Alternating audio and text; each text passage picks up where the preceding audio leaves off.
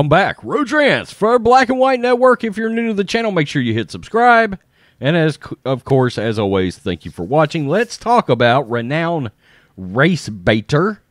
Uh, basically, if you're white, Joy Reid is not a big fan.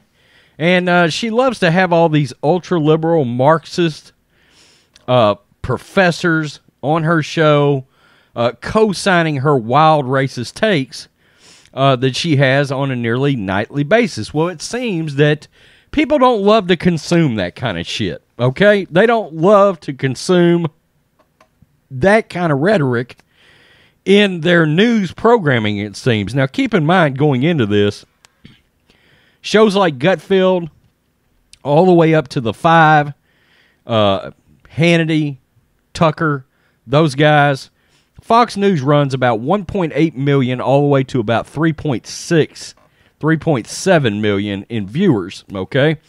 Um, so just some frame of reference as you go from MSNBC over to Fox News, right? And uh, it seems that Joy Reid has lost basically half of all her viewership since her show premiered. Now, it premiered in July 2020. Of course, amidst all the uh, St. George Floyd fallout, right? MSNBC thought they had themselves a winning program to go on TV and just say, I hate white people everywhere. Uh, except white people watch TV too, it seems, and they want to consume news shows too, it seems. Joy Reid's MSNBC show garners worst ratings ever. Nearly half of the audience has fled since its premiere. Now, keep in mind, I just did a video on black and white sports about uh, Republican Jack Brewer. Um, Reid came out on her show the other day and said that uh, the the black young black boys that were on stage with Ron DeSantis, uh, them being on stage for the anti woke signing of the bill by Ron DeSantis was tantamount to child abuse. Okay, and she questioned whoever ran ran those boys out there. What she didn't realize was Jack Brewer, former NFL player, a black man, came out and said, "Uh, no, uh, they're part of my organization. They knew exactly what they were doing, and if you and MSNBC doesn't apologize, I'm going to hit your ass with a lawsuit." Uh, so that's been the kind of week that Joy Reid's had. But look, that's kind of standard operating bullshit take by Joy Reid, and that's exactly why her ratings are plummeting into the abyss now. The ratings are in. This is the Blaze. And Joy Reid's MSNBC show is not exactly winning. The quote, ReidOut, tune out, garnered its smallest audience in April after nearly two years of existence, according to Fox News. Reid's show managed to only entertain 1.1 million viewers on average in April, a measure 31% lower than the same month last year. That figure is also 51% of the viewers the show garnered in its premiere month of July 2020. So it's la- lost over half of its viewership. The quote ReidOut did poorly when it measured among demographic ages 25 to 54, where the show earned an average of only 124,000 viewers. Ouch. That figure represents the lowest for MSNBC in the coveted demographic during the weeknight 7 p.m. slot since July 2015.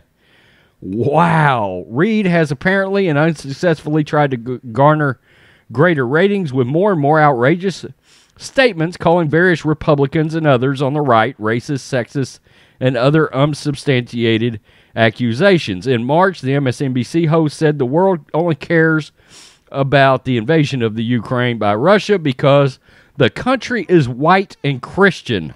Wow. I remember that. Okay, let's face it, the world is paying attention because this is happening in Europe, Reid said at the time. Quote, if this was happening anywhere else, would we see the same outpouring of support and compassion?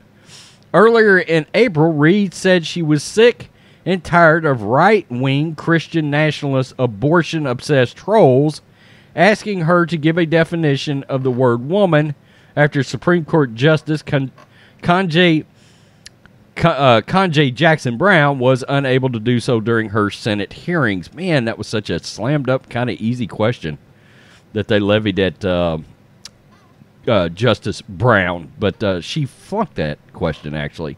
Later in April, she accused Republican Florida Governor Ron DeSantis of child abuse over black children holding political signs against CRT at the bill signing. In her most recent outburst, Reid threatened to leave Twitter over the purchase of the company by billionaire tech Elon Musk. And of course, like like I said, she come out and said that uh, she felt that Elon wanted to bring back apartheid. I mean, it's those kind of cutting edge takes that causes your viewership to be cut in half.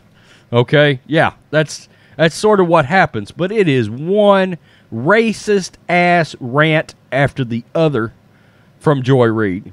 It's unbelievable. People don't love to hear that, so they just turn the bitch off. All right, let's let's just be real. She is a total clown. Okay, she goes straight to the the most racist hot take she can find. If there's a white person involved, her eyes start glowing red. Okay, you want to talk about somebody that goes on TV and they're always attacking Tucker or somebody like that. This bee is a blatant racist. She make she pulls no punches, and it seems that people, and you know, uh, me included, people that aren't racist don't in fact want to be called racist. We don't watch people like that. Click. Wasn't gonna watch you any anyway, Joy Reid. No fear there. Uh, triggered. She would be like convulsing, uh, fall over, uh, shaking, triggered by uh, the redneck from Texas talking about her right now. I wonder if I'm going to dress her up like a clown in in the thumbnail.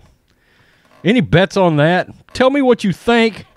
Black and White Network fans, Joy Reid plummeting into the abyss. Exactly where she belongs. Peace. I'm out. Till next time.